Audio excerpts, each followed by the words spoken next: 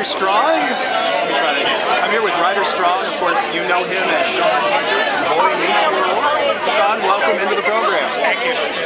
So what's it like for you to know that you're going back, you're going way back to Boy Meets World with Girl Meets World? Oh well, I'm not technically on the show, so uh, um, no, it's it's crazy. You know, it's like this this this '90s nostalgia that's sweeping the nation. Um, it's cool. Like it's been great. Like the, the amount of love that we've been getting. Um, you know, like I think maybe a year ago I had like 25,000 Twitter followers. It seemed like a lot to me then. And then like Girl Meets World, like you know, just keeps going. I'm like in the 90s now. Like I, all right, you know. Um, so it's great. I mean, there's a lot of there's an audience out there, obviously. So it's cool. I know that you've been expanding your writing and your directing career, and I was wondering what the dream project for you would be. If you could do anything, direct or write anything, what would it be? Um, I mean, I, I have a lot of goals, but I mean, at this point, just a film. Like, I want to make a feature film because my brother and I were doing it together, and we made three short films. We just exhausted all we can in that form. Um, so now, I don't know. I mean, like, we're up to do a big fantasy film. That would be a dream project for a big fantasy world. So it's one of our shorts. It's called the Dungeon Master, and it sort of takes like a D&D night gone wrong, and like I'd love to expand that into a feature. We have the script for that. I think that would, but it's a huge project. So that's still our dream project. Great.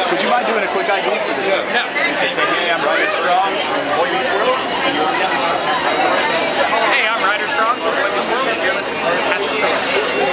Thanks so much, dude. Welcome on. I love on Twitter when you just start retweeting people that are like, did they seriously name their kid Rider Strong? I get it. So I, I, I started scrolling, I'm like, why are all these people talking about, oh, like, oh, he's on just one of his retweets.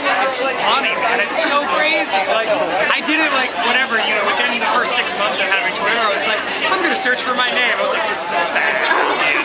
It's like, you know, it's like self-googling. This is a dirty, dirty habit. You Twitter should is never. worse. Yeah, and people just say whatever. But no, I mean, what's fun is like since I started retweeting it, like now people kind of know. So they start like the second I start searching, they start like sending me messages that way, like, hey Rider, know you're searching for your name. Is that one of your favorite things about Twitter? Or what do you like about it?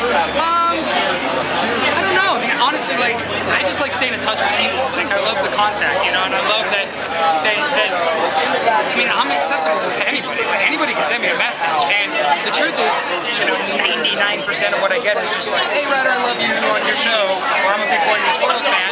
But then every once in a while, you get these random messages, kind of reconnecting with people, they say funny things, learning about what they're doing, or whatever. And, like, that's just incredible. Social media. Great for like shows, older shows like Boy Meets World, what do you want to see what they're doing now? That's how a lot of I find out probably like about your short films and. You know, not on the TV, like in some big show, it's like I'm like, I don't know what this person's doing anymore. Exactly. Then Twitter, most people are very good about this is like coming up or here's a Kickstarter, which is like, Well, the most like important thing for me too was when the Girl Meets World was announced. It's like I was able to just write a blog post and get all the, I was able to do all that without having to like do an interview. I didn't have to do an interview about it. I was just like, I'm just gonna write my statement, put it in the blog, set it out there, and like press other press, you know, picked it up. But it was just a blog post, you know, and that's cool that we live in a world where I think actors have long been sort of subject to the whims of producers, networks, companies. It's, nice to see like I said, you should show up in the background of a Girl Meets World episode one day. Like, just walk walk through, see if anybody notices. I feel like I have a secret cameo with this episode. Everybody watch. That would be huge. That would be. Thank you.